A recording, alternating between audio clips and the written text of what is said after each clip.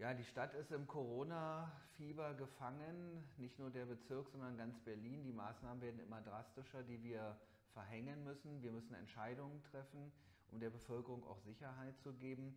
Ich tue gerade mein Bestes dafür, für die Neuköllnerinnen und Neuköllner die Lage so gut wie möglich zu gestalten. Meine Kolleginnen und Kollegen arbeiten massiv daran, aufzuklären, zu informieren, Abstriche zu machen, um einfach dafür zu sorgen, dass äh, Sicherheit besteht. Es wird jetzt auch zunehmen, dass äh, Schulen geschlossen werden, Kitas geschlossen werden, weitere Maßnahmen werden folgen und wir versuchen diese Krise zu handhaben und zu managen. Die ganze Krise verlangt uns allen viel ab, der Bevölkerung natürlich, den vielen Familien und die, die arbeiten gehen müssen, aber auch mir. Meine ganze Arbeitskraft geht derzeit für die Bewältigung der Lage her und äh, ich versuche mit meinen Kolleginnen und Kollegen das Beste für unsere Bevölkerung, diese Krise zu managen und äh, die Lage in den Griff zu bekommen. Das ähm, heißt auch, dass meine Facebook-Aktivitäten etwas zurückgeschraubt werden.